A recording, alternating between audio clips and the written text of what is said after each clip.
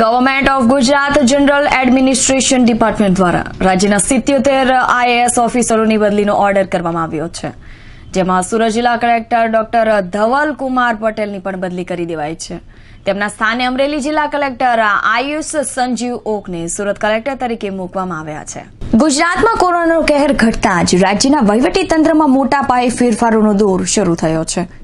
જેમાં શનિવારે બપોરે સિત્યોતેર આઈએએસ અધિકારીઓની સાગમટે બદલી કરી દેવામાં આવી છે. જેમાં શિક્ષણ વિભાગના principal secretary Anju Sharma, ST નિગમના એમડી એસ હૈદર ઉપરાંત રાજકોટ મ્યુનિસિપલ કમિશનર અને કલેક્ટર અમદાવાદ જિલ્લાના ડીડીઓ અને એએમસીના ત્રણ ડીવાયએમસીની બદલી કરવામાં આવી છે. રાજકોટ જિલ્લા કલેક્ટર રેમ્યા મોહનની નેશનલ હેલ્થ કમિશનમાં બદલી કરવામાં આવી છે. હેલ્થ કમિશનના ડિરેક્ટર તરીકે નિમણૂક અપાઈ છે. રાજકોટ મ્યુનિસિપલ કમિશનર ઉદિત અગ્રવાલની મહેસાણા જિલ્લા કલેક્ટર તરીકે બદલી કરાઈ છે. સુરત કલેક્ટર ધવલ પટેલની ગુડાના સીઈઓ તરીકે બદલી કરવામાં આવી છે.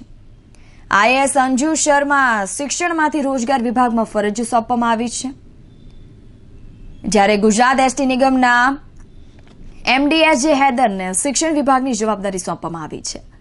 રોજગાર વિભાગના સચિવ હર્ષદ પટેલની પોર્ટ એન્ડ ટ્રાન્સપોર્ટ વિભાગમાં વાઇસ ચેરમેન તરીકેની જવાબદારી સોંપાઈ છે.